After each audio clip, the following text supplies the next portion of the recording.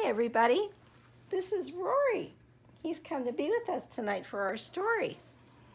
So today we're going to talk about a special little baby named Moses. Moses is going to grow up to be one of the most important figures in the Bible. We will learn that God has a special plan for Moses. And we're going to learn that because Moses trusted and obeyed God, God was able to use him to rescue all the Israelite people. So this will be a lesson for us to learn that God has a plan for each of us. And when we trust him, he will guide us and protect us and do something special with us. So let's hear the story of Moses.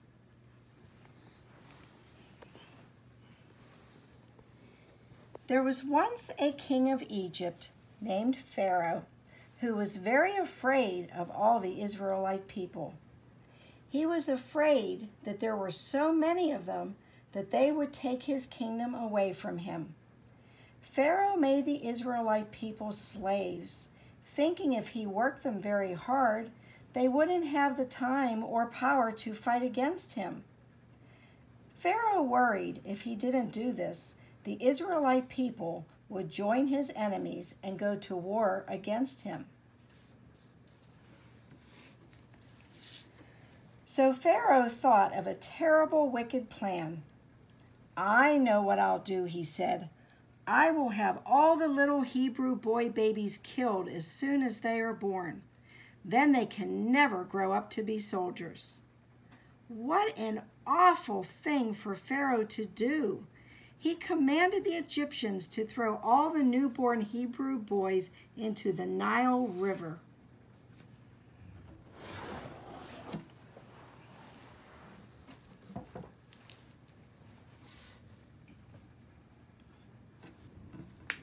One Hebrew mother named Jochebed looked at her little baby boy and said to her husband Amram, Look at our little baby.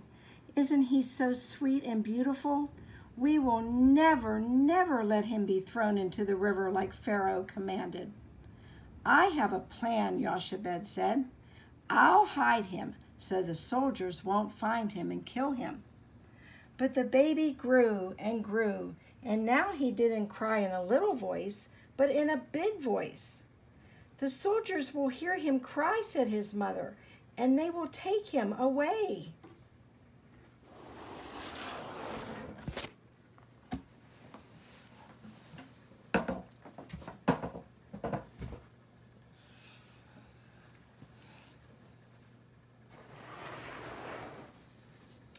I have a plan, Jochebed said. I will hide him so the soldiers won't find him and kill him. I will take a little boat of papyrus, reeds, and tar, and I'll put the baby in it. And I will let it float down the river. And that is just what she did. Then she hid him among the tall bulrushes at the edge of the river.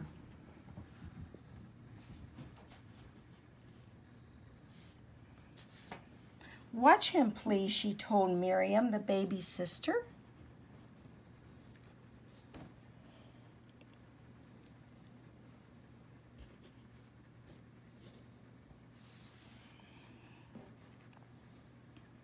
The princess, the daughter of Pharaoh, and her maid were walking along the edge of the river.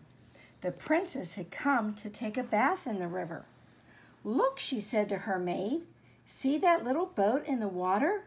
Bring it to me.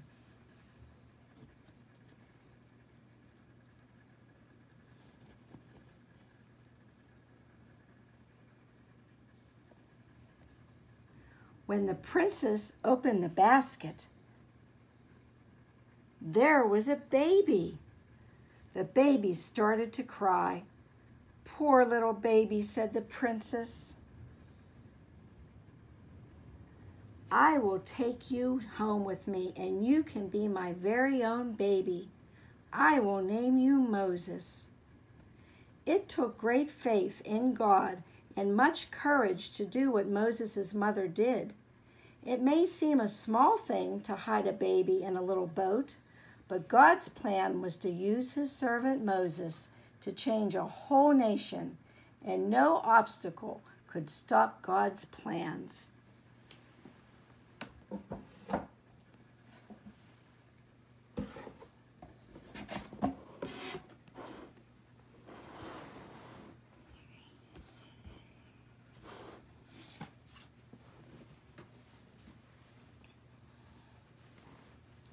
You see, God would use Moses to rescue the Israelite people and lead them out of Egypt one day. God would give Moses great power, but it would take Pharaoh a very long time, and it would take lots of bad things to happen before he would let the Israelite people go. Pharaoh would not listen to Moses because he did not know and respect God. Finally, after God caused all the firstborn of the Egyptians to die, including Pharaoh's own son, Pharaoh was ready to obey God and let the Israelites leave Egypt.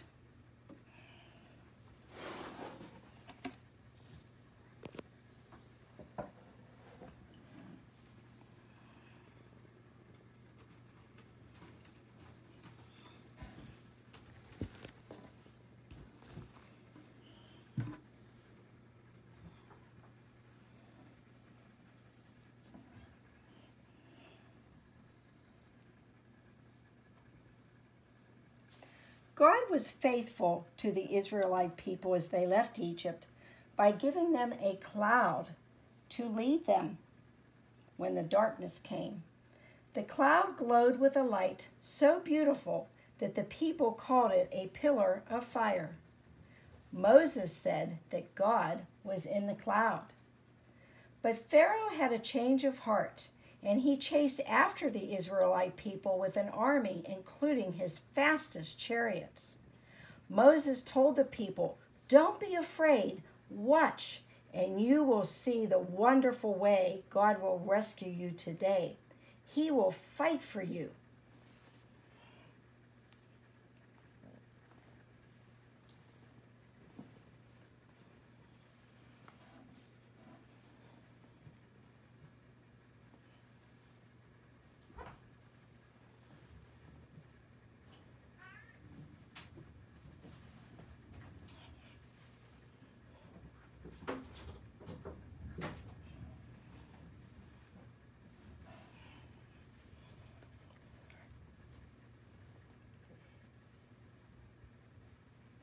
Then God used Moses to part the Red Sea with his rod, leaving a clean, dry pathway through the sea for the Israelite people to cross.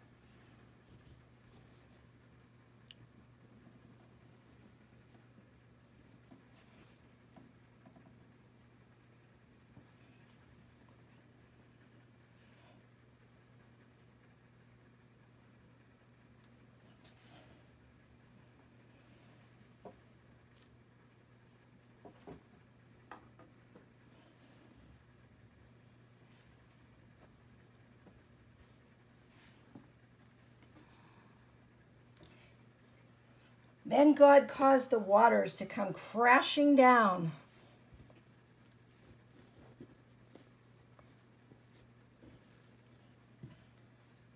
Killing the entire Egyptian army which was chasing them.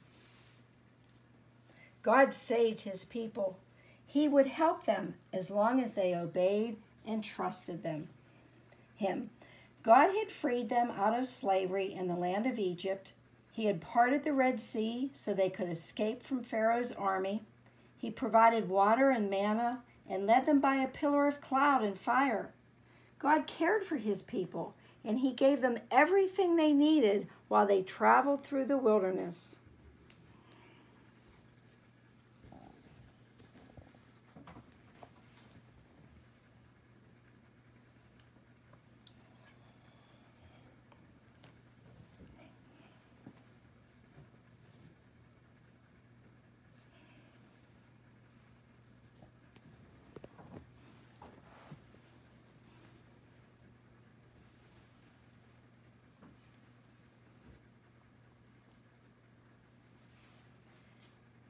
Then God led Moses to Mount Sinai. Moses climbed the mountain, and God talked to him through a burning bush. It was there on the mountain that God gave Moses the Ten Commandments, which are the ten best ways to live. So you see, Moses was a very special baby. God had a very special job for Moses to do, so God protected him. Moses, in turn, trusted God and accepted the great challenge that lay before him. We too can do any task, large or small, when God calls us. With His help, we can succeed. Let us pray. Dear Heavenly Father, thank you for Moses and for showing us how you used him to fulfill your plans to save your people. Thank you for showing us through his story that no obstacle can stop your plans. Let us believe you have a plan for each of us too, whether it be big or small.